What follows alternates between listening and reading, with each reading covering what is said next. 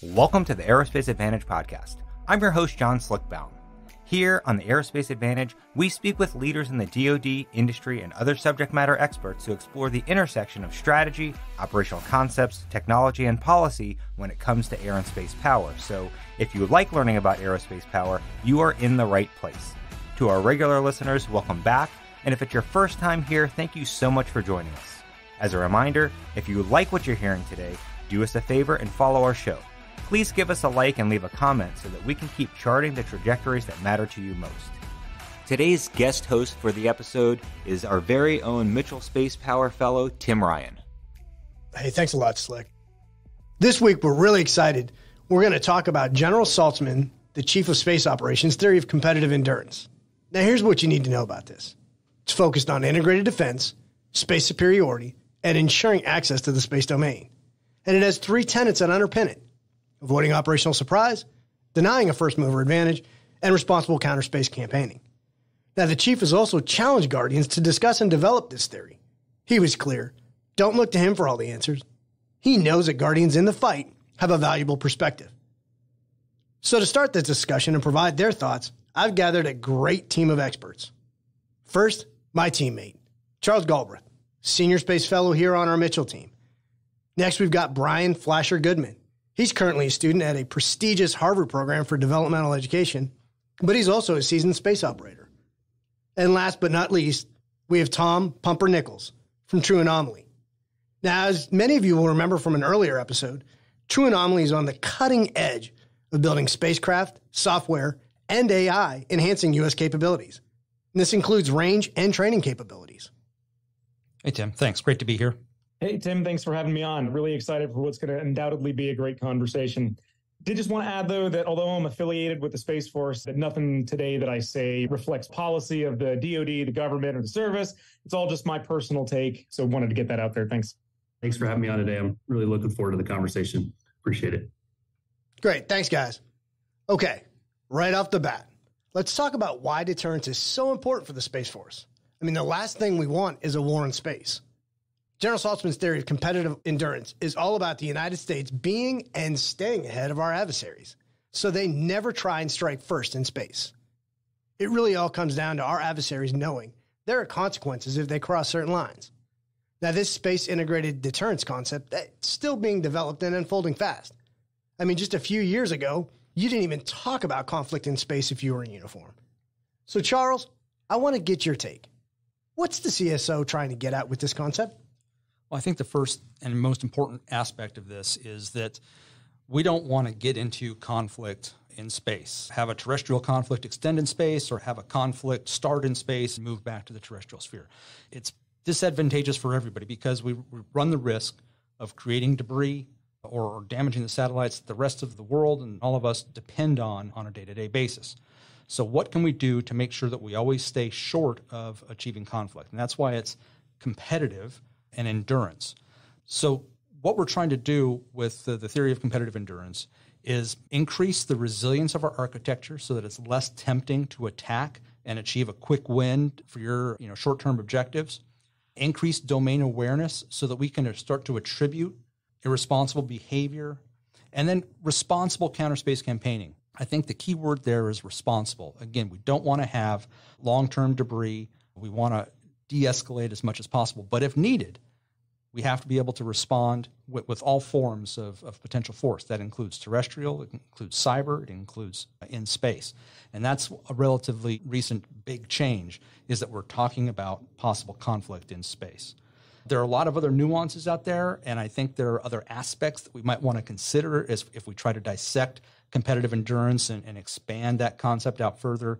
But that's the essence in a nutshell, and I think it's, it's a great starting point for our discussion. Thanks, Charles. Okay, Tom, before you co founded True Anomaly in your current position, you were a space weapons officer. And for the audience, that just reflects the top end of the military's tactical and operational training. So, can you tell me how and why you would say these discussions have evolved since you left the service? Yeah, Tim, absolutely. I'd start by saying that this, that General Saltzman's theory of success it didn't even exist when I was in the service. In fact, the, the Space Force being so new didn't have a theory of success or as other domains call it, a theory of victory to begin with. One of the things I think that's really worth highlighting is it, it's called a theory of success. It's it's competitive endurance for space superiority and not space supremacy.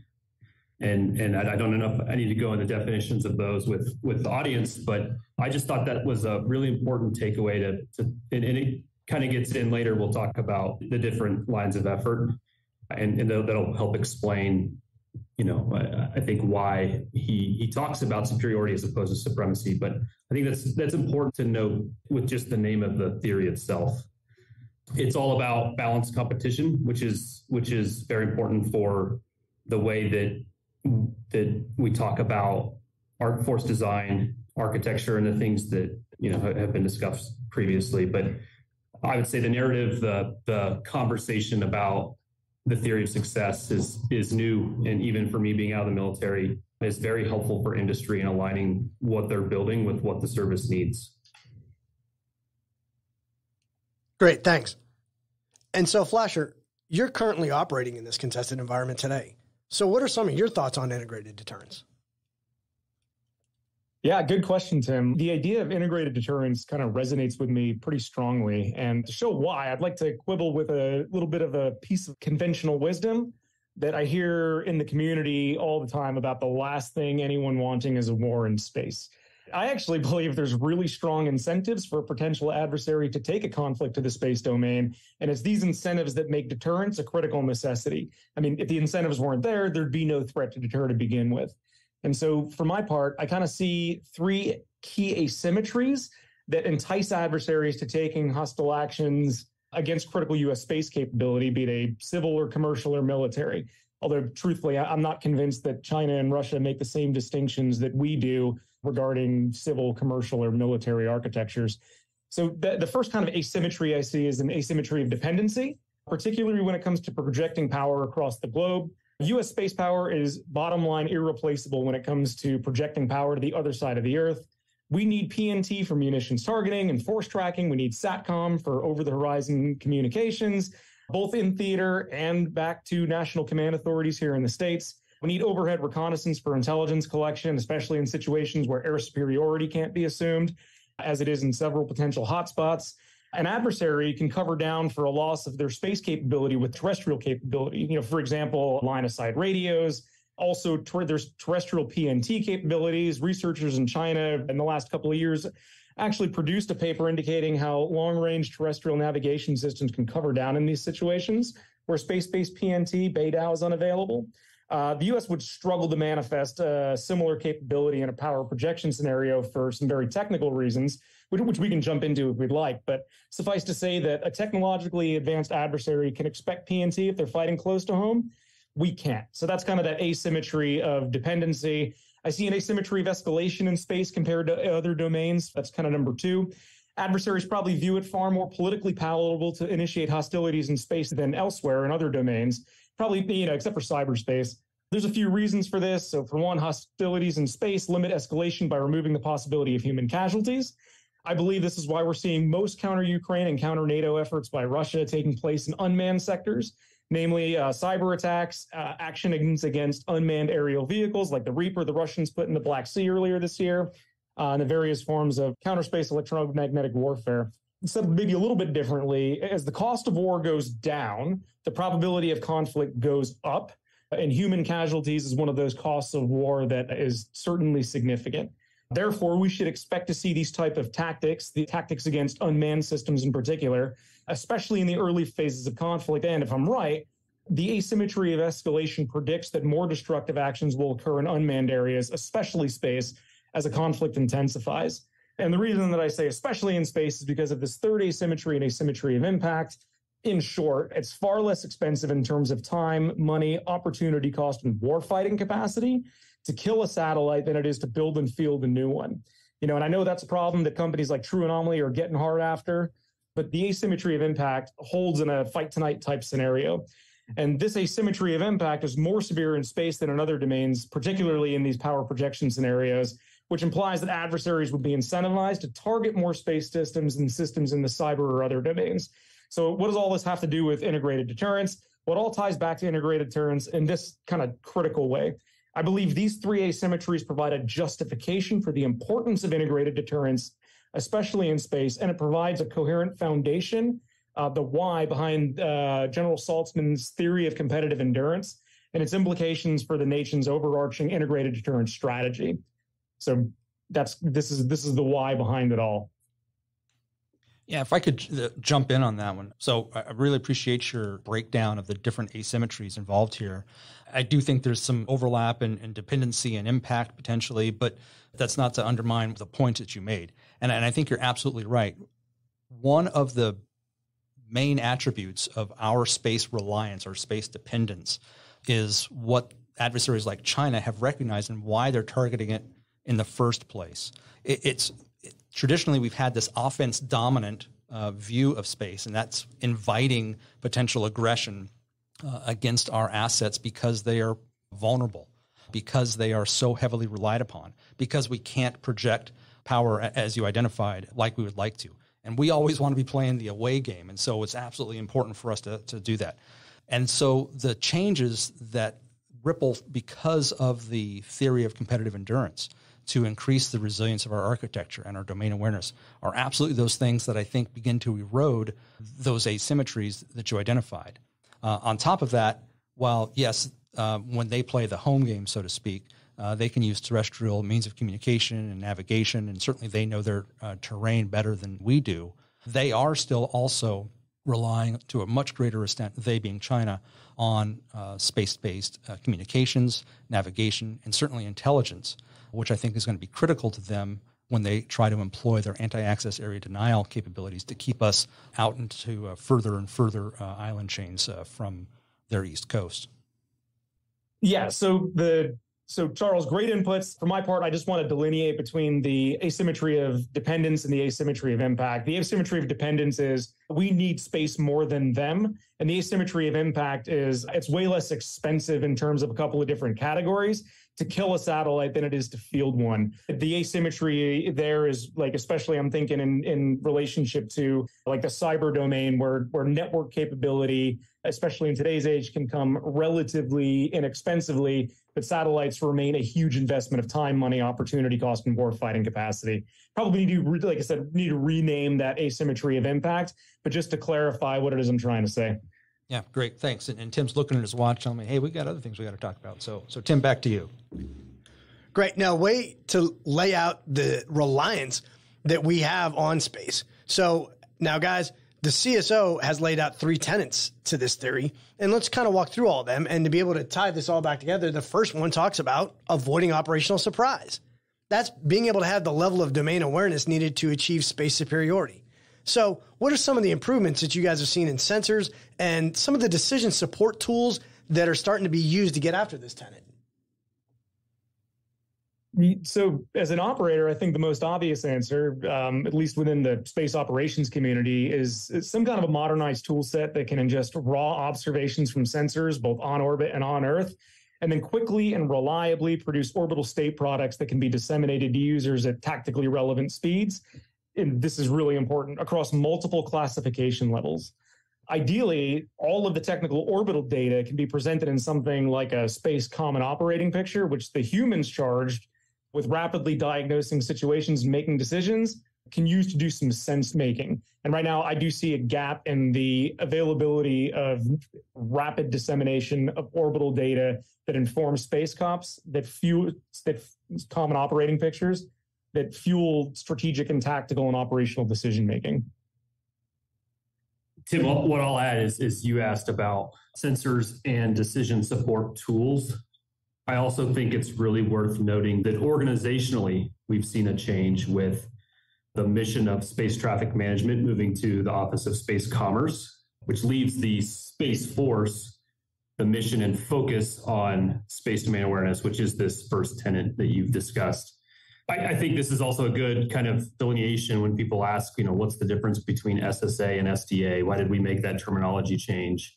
SSA was mostly about traffic management, collision avoidance, and this military mission of avoiding operational surprise is, is exactly what you're describing, which is understanding the capabilities that that adversaries are deploying so that we can prevent you know miscalculation prevent adversaries from from taking action against our high value assets in space. Obviously being a true anomaly this is a tenant that we are pursuing heavily with our deployment in, of our first two spacecraft jackal in, in february of next year. Their mission is focused on providing that actionable information to decision makers under the United Space Domain Awareness umbrella. Our focus is primarily on the close object, uh, close proximity characterization of resident space objects, but uh, our, our capabilities will be used for, you know, just general domain awareness, metric observations, and tracking things in space. Uh, as far as decision support tools, I, I think you, uh, Flasher kind of highlighted the importance of that. It, it's not, just receiving data. It's it's analyzing the data and making it actionable. And so there, the decision support tools are not just, and you know, we've we've had the same ones in the Space Force for 50 years. It seems like I don't I don't know when SPADOC and, and CaveNet were created, but you you can see SSC, you can see Space RCO getting after these using new technologies, innovations, and and to build better decision support tools, not just for general officers and, and government leaders to make decisions, but for tactical operators to do their mission, do their job. Yeah, so I see this in, in really four uh, main areas. The first is the, the, sensors, right? Where do we have our sensors? What type of data are they collecting? Do we have enough of them for the growing number of uh, objects that are in space, both active and debris? So that that's one. Things like Jackal, things like GSSAP, things like Im- improvements to the SSN, as well as, as new systems like Space Surveillance Telescope, DARC. Those are all great additions there. But then, as you both have talked about, you need to make sense of that data. And I think because there is so much of that data available and more will become available in the future as we have more sensors, you really need to be able to exploit that data using artificial intelligence and machine learning to identify patterns of behavior, what is normal, what is not normal, what, what looks like a threat, what doesn't look like a threat, et cetera. And then the decisions that, that you need to be informing, that has to be done in a timely fashion so that the decisions you make are not ex post facto, right? They, they need to be in time to actually prevent an adverse reaction. And, and the fourth element then is that data has to be shareable if we play that we have a secret and we can't tell you, but boy, something bad might happen to you soon, that's not going to do anybody any good. And also, if we're trying to attribute what we consider to be irresponsible or reckless behavior, if we can't share that information with, with the rest of the world to call out those bad actors, uh, then we're not doing any good. So I think there's those four elements there that we, we need to be expanding. Yeah, and Tom, I'll uh, augment what you said real quick, and I want to really tip my cap to my brothers and sisters in the SDA community because uh, as I was looking at it, the tools that they're using, like SPADOC, CaveNet, I mean, these are tools that were conceived and initially built during the Jimmy Carter administration. And it's nothing short of miraculous that they've been able to keep the SDA game going for as long as they have to the extent that they have, given the tool sets that they're using. So everybody that's involved in the SDA community right now has earned my deepest respect. And good Lord, I can only think of what these folks will be able to accomplish if they actually get some modernized tool sets. Yeah, thanks so much for that. And just to make sure that we're clear for the audience, when we utilize the term SDA, of course, we've only got so many letters that we can make acronyms out of. We're talking about space domain awareness versus the Space Development Agency. But it's a really great discussion point. And again, you started as I was listening to you guys lay that out, it literally was laying out what we talk about when we talk about a JADC2 environment of being able to make sure that we've got the right information at the right time to the right shooter at the right place. We're just, what you guys just talked about was taking that and putting it in the space domain, making it no different than any other domain as we go forward. So great. I appreciate that. So, as you guys know, space domain it does have some unique capabilities, meaning it's just physics when it comes to the predictability of things on orbit. So when you couple that with the time that it currently takes to kind of reconstitute the capabilities that are on orbit, it gives a advantage to being the first mover in a conflict. And that's exactly what the chief is trying to get after with his second tenet. So what are some of the efforts you see the Space Force doing and what other efforts should they be doing to deny this adversary advantage? Yeah, so as we've talked about before, the existing architecture that the Space Force inherited was largely built during a time when we considered space to be a fairly peaceful domain. I won't say benign because there's a lot of natural hazards out there in the space environment anyway. But we were not particularly designing our capabilities to defend against active threats like ground-based lasers, direct ascent ASAT, co-orbital, et cetera. And so as a result, based off of those asymmetries that we talked about earlier, right, it invites potential attack of these vulnerable targets. So what are we doing to get after that? One of the first things that we've done I got to stop saying we because I'm, I'm, retired from the Space Force, but but it's it's hard. Uh, one, one of the first things the Space Force is doing is proliferated low Earth orbit constellations. So if you take out one of a thousand, it has much less impact than if you take out one of three. So that proliferation is one of the most uh, visible things, and that's that other SDA, Space Development Agency, that's really heading up that path. But there are other elements to provide mission assurance, which is what we're really trying to get after. There was a taxonomy that came out in 2016 from the OSD describing mission assurance. And it talked about reconstitution and it talked about defensive operations, but it also talked about the resilience and how it was made up of disaggregation, deception, diversification, distribution, protection, and proliferation.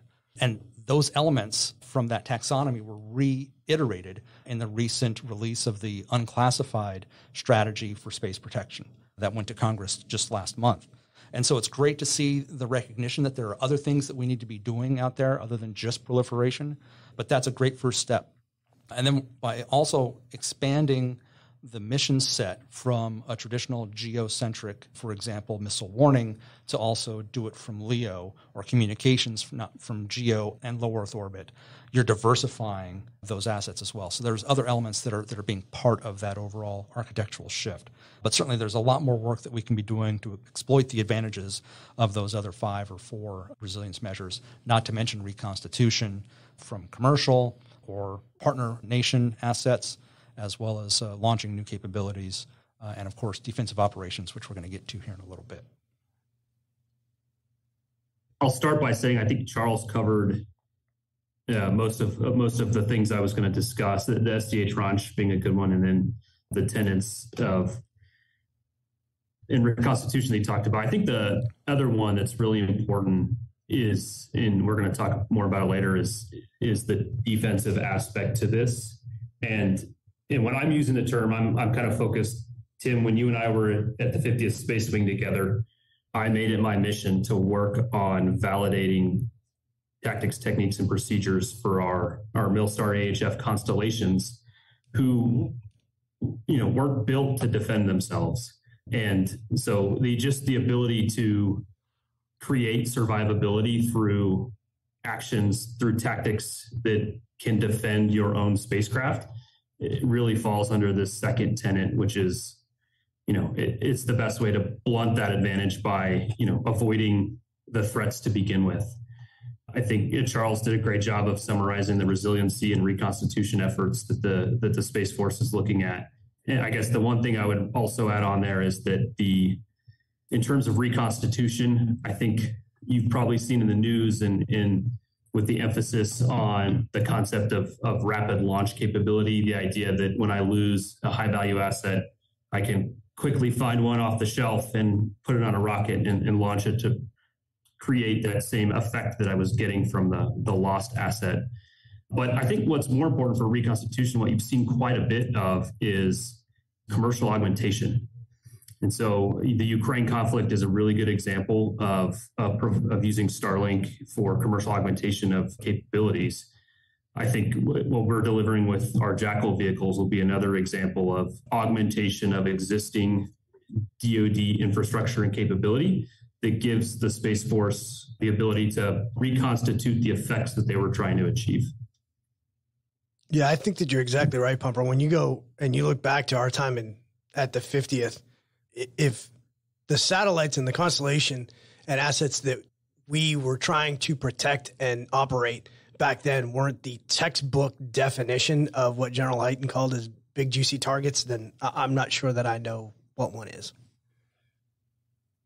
Yeah, so thinking about this in terms of theory, um, which is kind of what's been at the front of my brain lately, is something that I hope will interest the the listeners and the the folks here in this conversation. But one, of the interesting analytical lenses we can use to make some sense of this is uh, offense defense theory, which is kind of borrowed from a broader international relations context. But uh, essentially, offense de- defense theory posits that the relative superiority of offensive capabilities and defensive capabilities in a given environment shape the approaches that different states take towards security and conflict. I mean, so it's a huge simplification, but you know, for our purposes here today, it's easier to kill in an offensive dominant system, and it's easier to protect in a defensive dominant system. So, generally speaking, again, offensive dominant systems incentivize aggression and moving first, while defensive dominant systems incentivize digging in, attrition warfare, those those types of things.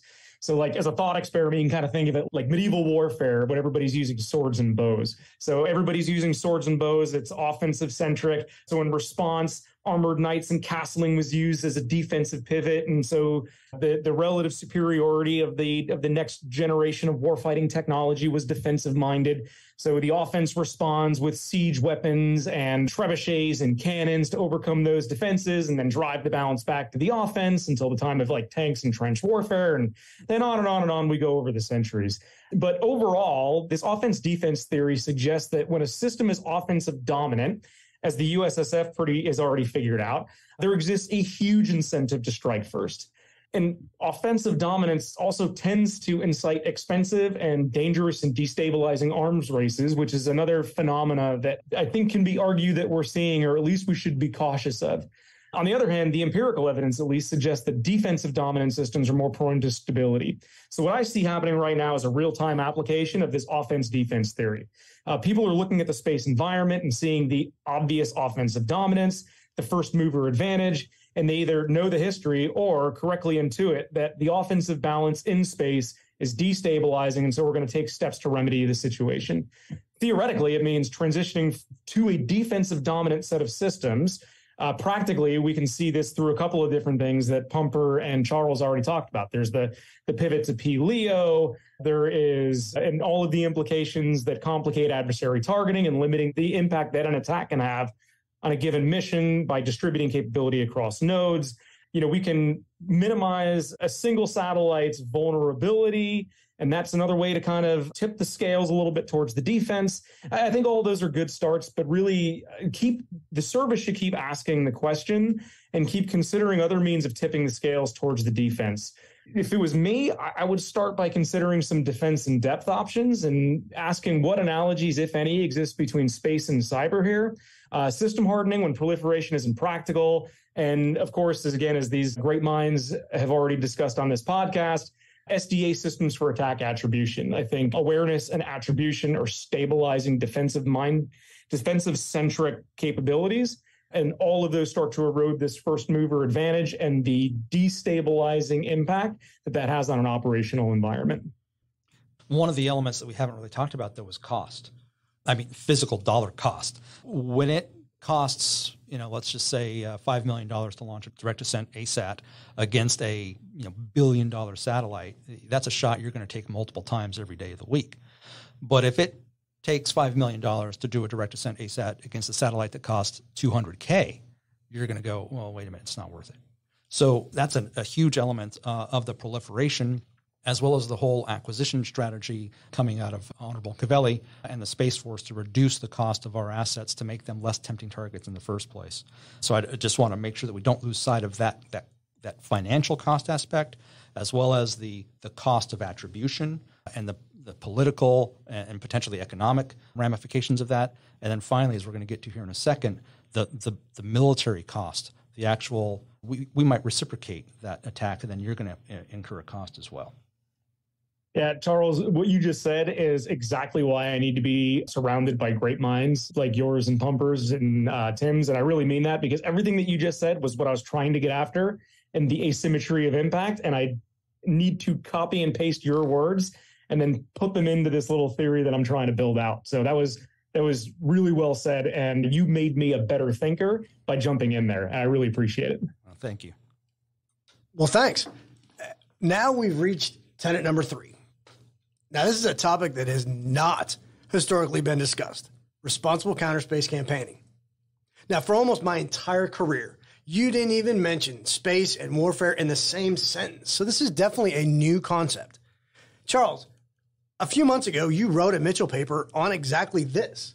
What are some of the areas that you highlighted? Yeah, thanks, Tim. Well, so we've already talked about a, lot of them. I mean, the theory of competitive endurance in terms of improving space domain awareness, improving resiliency, those are all important aspects. We also talk about the establishment of norms, what responsible behaviors look like. That that's all important. That's all needs to happen. But unless we have the means to protect our assets and potentially attack an adversary's assets, we're missing a, a significant set of plays in our playbook. And, let me be specific here. When I talk about attacking an adversary's space capabilities, it's not a space for space's sake battle here. What we're doing when we attack an adversary's ISR capabilities or their communications capabilities is protecting our fielded forces, our, our soldiers, sailors, airmen, marines, guardians out in harm's way. We're protecting them from adversary space enabled attacks.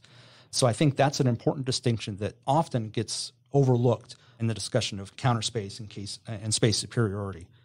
But, but where I go in the paper is that the, the steps that we've taken so far to improve our resilience and to improve our domain awareness, they need to go even further. Because if you want to have domain awareness enough to attribute an irresponsible behavior, that's fine. But if you need space domain awareness to be able to identify where an adversary space capability is most vulnerable, know when they are most vulnerable, and how best to attack that vulnerability, that requires a whole nother level of space domain awareness and call it space intelligence, if you will. Additionally, our ability to command and control our assets needs to improve. It's not just the satellites that were built for a peaceful environment. It was the command and control structure that we, we built as well. And so when you have long periods without contact, when you don't have continuous contact or the ability to command and control all of your assets simultaneously, they become vulnerable. And so improvements in our ability to command and control our space assets is also critical. There are a few other aspects out there that also need to be improved, but those are the two that really come to mind. Okay. Well, guys, I'd be remiss if I didn't talk about some of the highlights that came out of the Air and Space Forces Association Airspace and Cyber Conference a couple weeks ago. First, the Space Force got a new mission statement secure our nation's interest in, from, and to space. Now, I'd like to ask you guys why is this change important? Do you think that it fully captures what the Space Force is doing today and its mission? Yeah, so I'll jump in, and at the at the risk of sounding like a company man, honestly, I I really like it. Uh, in fact, I probably could go so far as to say that I love it. It's a great evolution over our old mission statement, which was a little clunky and honestly, read to me at least, like it was the victim of 18 layers of bureaucratic and legal reviews. I applaud the new mission statement's simplicity and that Guardians have a ton of intellectual space to debate what it means and, importantly, what it doesn't. I applaud its scope that the USSF has the nation's interests at heart. And one of the things the service should be always above is parochialism and interdepartmental rivalry. And I also applaud its specificity, uh, specifically using the word secure. In my mind, that's our job as guardians secure the nation's interests. Exploration, science, and economics are really, really important, but ultimately, those are civil and commercial led functions. The Space Force, in my mind, again, exists to provide security, like in the martial sense. I, I think it's brilliant. Hey, Brian, that was a, a great rundown of, of, the mission statement and how it applies. And, and I agree with you. As a former Guardian, I love it as well. The secure piece speaks volumes in just a single word. And our nation's interests, you're right, we're beyond parochialism. But what I love about this is it doesn't specify what those interests are our interests in space are going to continue to grow over time. And and what this means for for us is that it's not just the interests of space, right? It's the interests of those that that leverage space, those that that require space to enable them to do their jobs. And so it protects those capabilities. It protects the benefits that others receive from space. Uh, but then it, it also leaves it to n- new interests that might be evolving over time. So I think that's great. In, from, and to, you're either going into space, you're coming from space, or you're in space.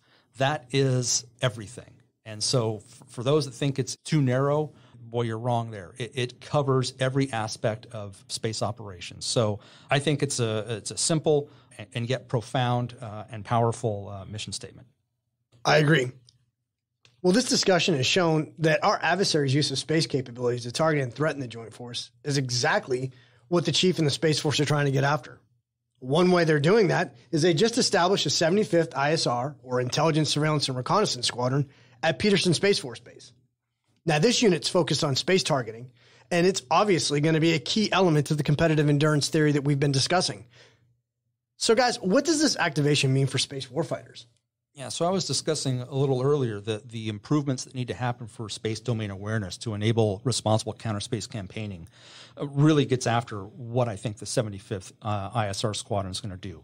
It's understanding what those adversary space assets do, where they are vulnerable, and that could be on orbit, uh, it could be in the link, it could be in the ground uh, infrastructure, but it, it, it's a it's a holistic view of that adversary uh, capability and then identifying the right method to go after that. Uh, is it a, uh, a direct ascent ASAT that we have or, or, that we might develop in the future?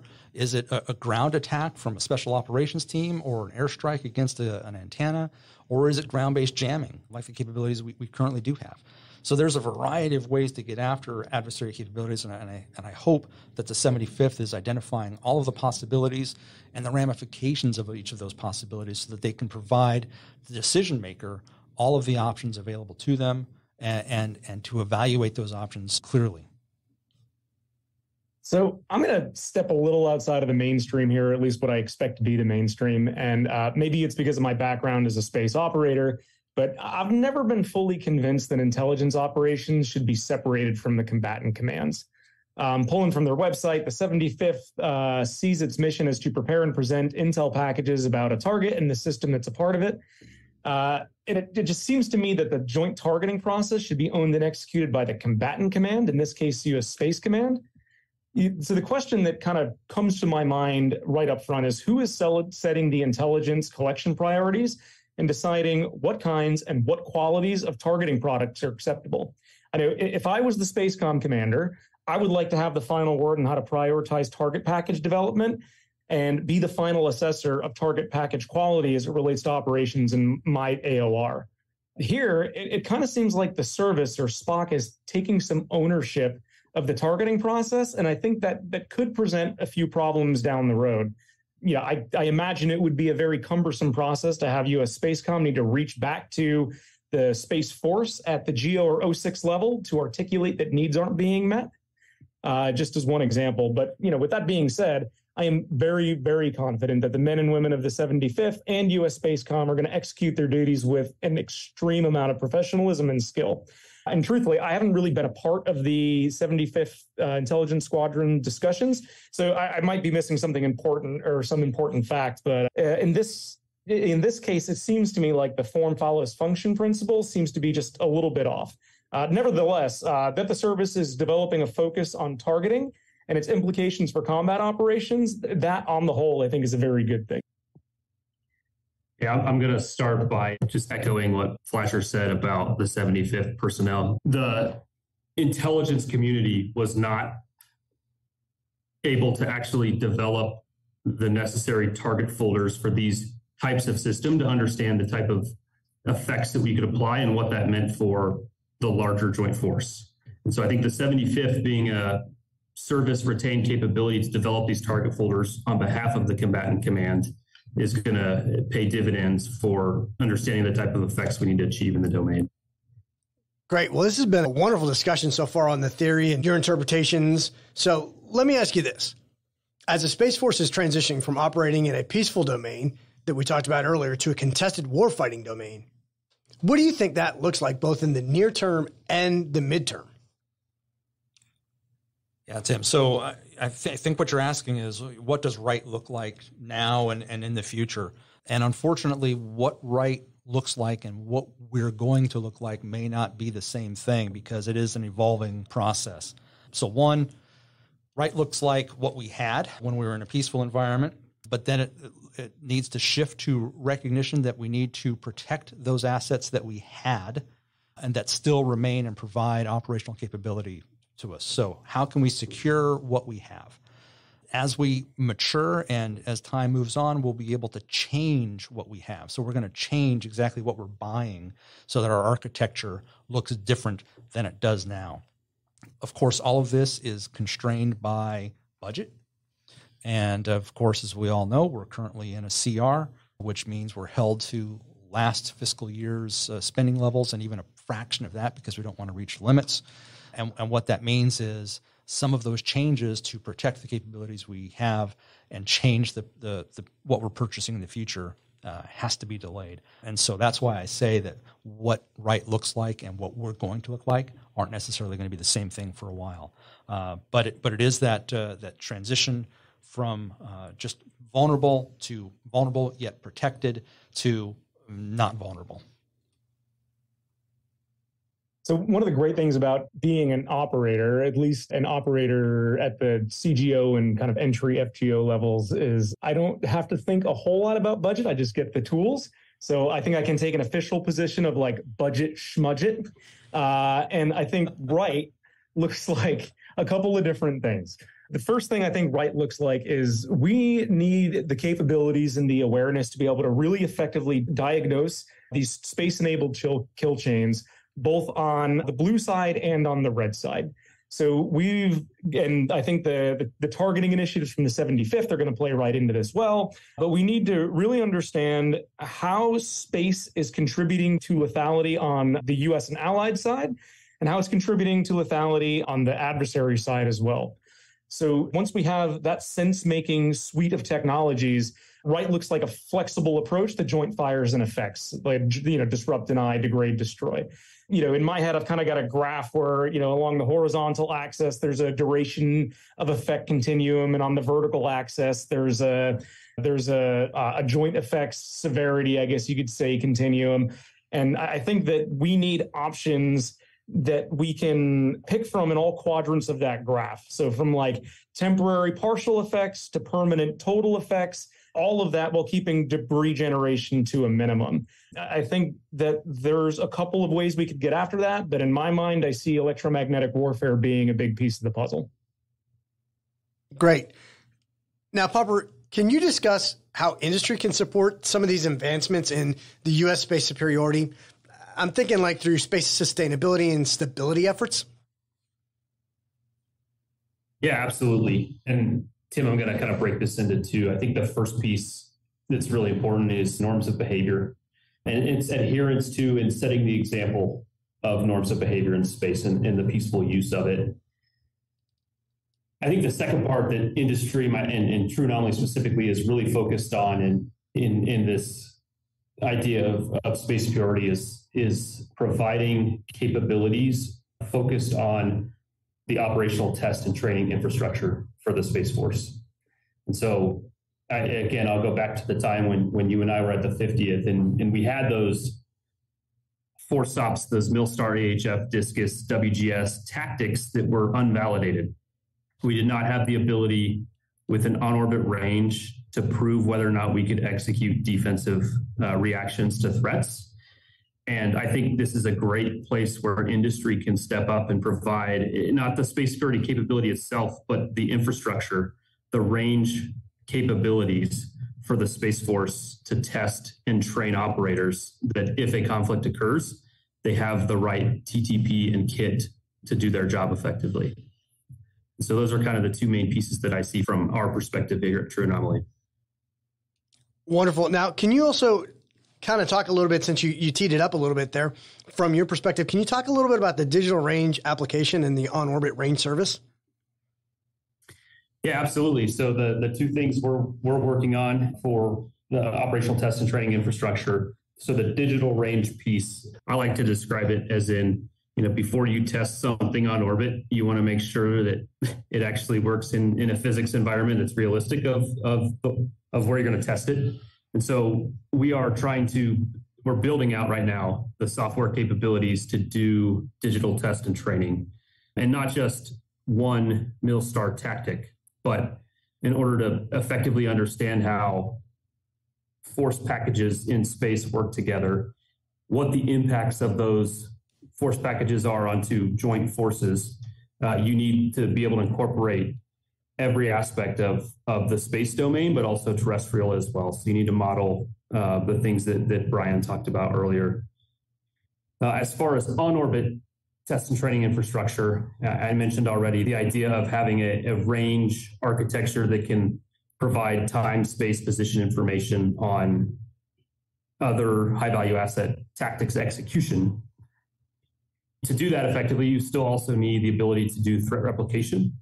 And so, if you want to validate a tactic on a MILSTAR, you need the ability to replicate the threat that you're going to practice that tactic against. We're also providing your, the Air Force calls white jet trainers, but it's your standard training platform for understanding the combat discipline of orbital warfare. The idea of movement and maneuver in space, the ability to do close proximity rendezvous and proximity operations. The Space Force lacks an organic training capability that can do that mission and train Guardians for when they get to their actual, you know, OW platform in the future.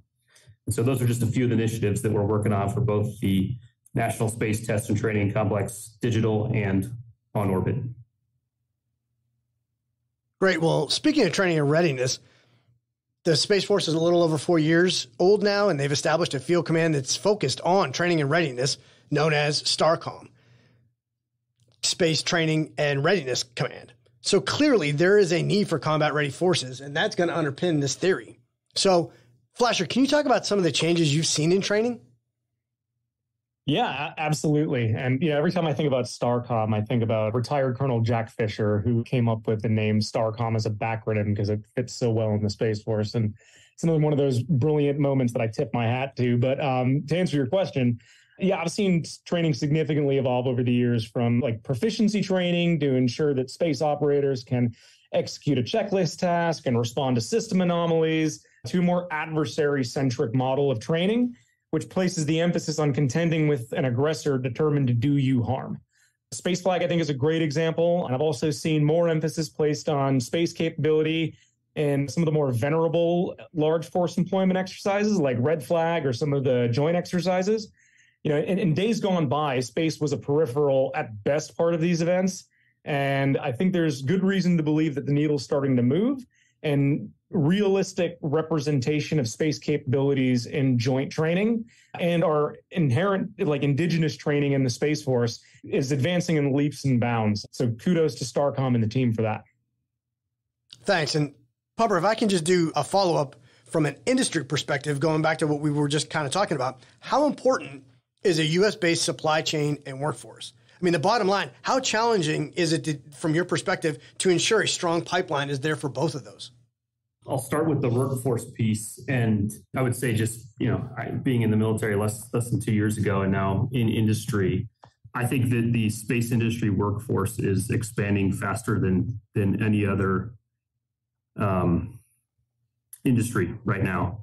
And, and part of the reason we selected Colorado as the headquarters is because the aerospace talent pool here is incredible.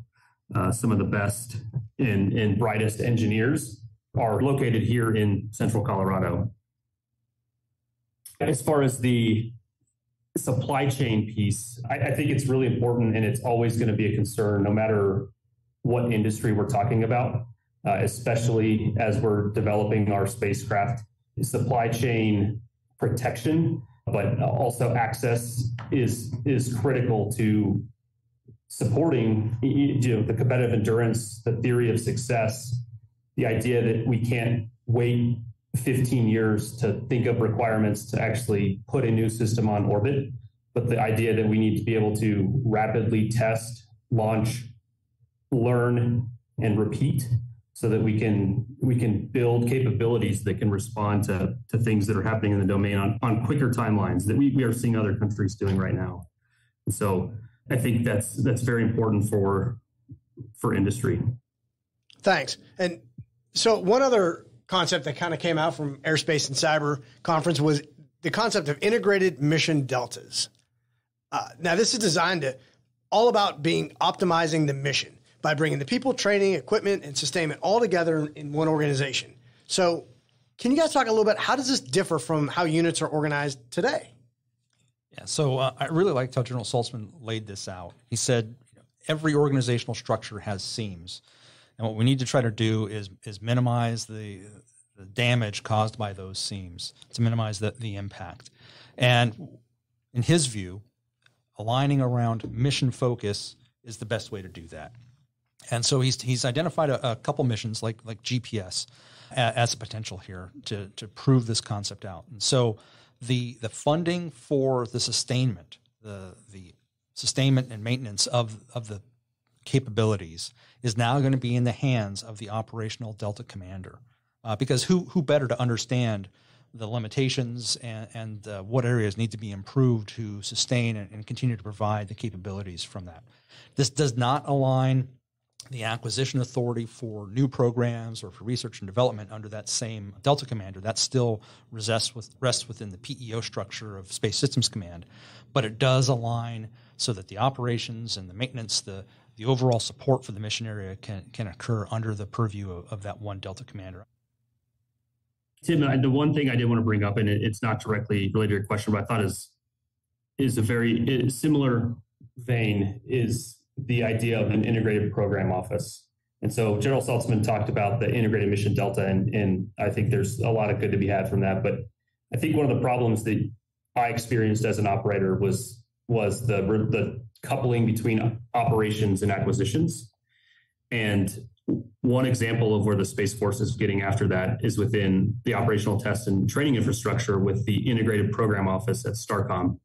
So it is a combination of Space Systems Command acquisitions bodies sitting with and coupled with the Delta responsible for the test and training mission. And I think that's going to pay dividends in, in linking up the acquisitions and operations communities. Yeah, I'm a huge fan of unity of command uh, and really all of the other time tested principles of war. And I think that's what General Saltzman's getting after here. You know, there's probably going to be some organizational churn as the transition is implemented. There's going to be some lessons learned along the way, but in the long haul, I really think history is going to remember this as a positive move for the Space Force for all the reasons that Pumper and Charles talked about above. Okay, guys, one final question here. Clearly, the chief has said the Space Force is still developing many of the processes needed to achieve space superiority that we've been talking about today. So he's asked for Guardians to be in and be part of that discussion. So, what are your suggestions for Guardians? What should they be talking about, and how should they get their voices heard? I think the Space Force has been pretty clear on creating the forums necessary to hear those voices. And, and you see that in the, the new Space Force mission statement, right? That came from the bottom up. If I could give suggestions or mentorship to current Guardians about what to say, the best thing I could say is voice your problems. Focus on the problems that you face in your day to day job and in your mission and those are the things that need to be highlighted. I think there are a lot of ways to solve different problems, but we can't go about solutioning until we know what the actual problem is. So that's my recommendation. Yeah, so just to build on that a little bit, there are a lot of folks that have documented problems either in Air Command and Staff College papers or, you know, Senior Developmental Education Air War College, SAASS, et cetera. And those have been great. So if you're a, a young guardian out there, those are out there for you to read. There's also, to be a little self-serving, a great body of work here at the Mitchell Institute and some other, you know, great think tanks out there too, looking at the problems that, that are facing the, the military uh, as we move further and further into the space domain. So ho- hopefully people out there are listening to this and, and, and thinking about it, not just, you know, listening to this in the background while they're, while they're doing reps on the workout bench or something, but, but also take some time to think about this. What is it that you do? Who uses that information or that service?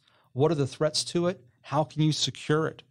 Right? Think about those things and think about the ramifications of, of, of achieving those objectives. Yeah, and I, I, might be stumping a little bit here, but I genuinely believe the Space Force needs some kind of semi formal opportunity for Guardians to write, think, and respond to the key questions of the day. You know, it's one thing to ask Guardians to be in the discussion, and it's another to provide the environment where those discussions can happen. I think the Marines have a great model with the Marine Corps Gazette, you know, something like a by Guardians, for Guardians forum, maybe in terms of rigor, something between like op eds and academic journals, where individuals can present and respond to ideas. I know a lot of Guardians who have great ideas, but no place to express. And this is probably even more important. They have no place to mature them. You know, if, if I was king for a day, I would absolutely find some industrious action officer to run point on that. Great. Those are great ideas. And if I can plug also for the Guardians, the Mitchell Institute is here to be able to assist and be able to give you those places to be able to have that voice heard as well. Well, gentlemen, I, I can't thank you enough. Um, it's been great getting to talk with you today, and we are looking forward to continuing the discussion in the future. Thanks, Tim. Yeah, thanks, Tim. You guys are awesome. Yeah, Flasher, Charles, thank you. And Tim, thank you for hosting us. Back to you, Slick. Tim, excellent job. Thanks for taking the stick. With that, I'd like to extend a big thank you to our guests for joining in today's discussion. I'd also like to extend a big thank you to our listeners for your continued support and for tuning in to today's show. If you like what you've heard today, don't forget to hit that like button and follow or subscribe to the Aerospace Advantage. You can also leave a comment to let us know what you think about our show or areas you think we should explore further. As always, you can join in on the conversation by following the Mitchell Institute on Twitter, Instagram, Facebook, or LinkedIn, and you can always find us at mitchellaerospacepower.org. Thanks again for joining us, and we'll see you next time. Stay safe and check six.